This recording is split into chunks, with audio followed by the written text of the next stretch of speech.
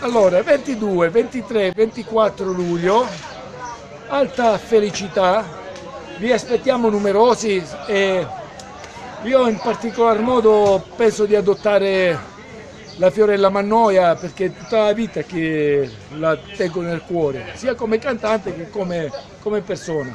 Mi raccomando, cercate di venire numerosi che vedremo di fare la moltiplicazione dei pani e dei pesci.